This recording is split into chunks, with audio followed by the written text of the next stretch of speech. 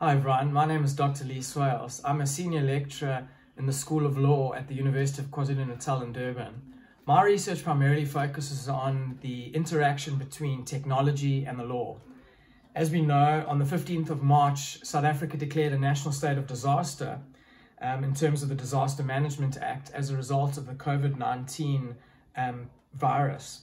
This followed the World Health Organization characterizing COVID 19 as a pandemic on the 11th of March.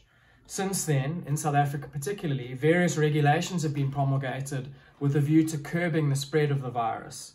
Some of these regulations have drastically affected our constitutional rights, such as the right to freedom of movement and the right to privacy.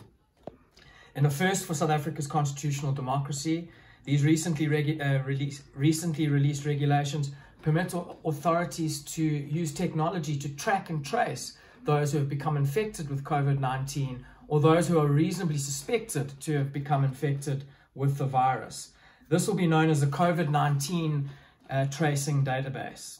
In another first for South Africa's constitutional democracy, persons in South Africa are now subject to a curfew. Although constitutional rights may be validly limited by Section 36 of the Constitution, this may only be done briefly by law of general application and to the extent that the limitation of rights is reasonable and justifiable in a democratic society. With this in mind, my research is exploring the distinction between a state of disaster on the one hand and a state of emergency on the other hand, and the implications for limiting rights in either of those contexts.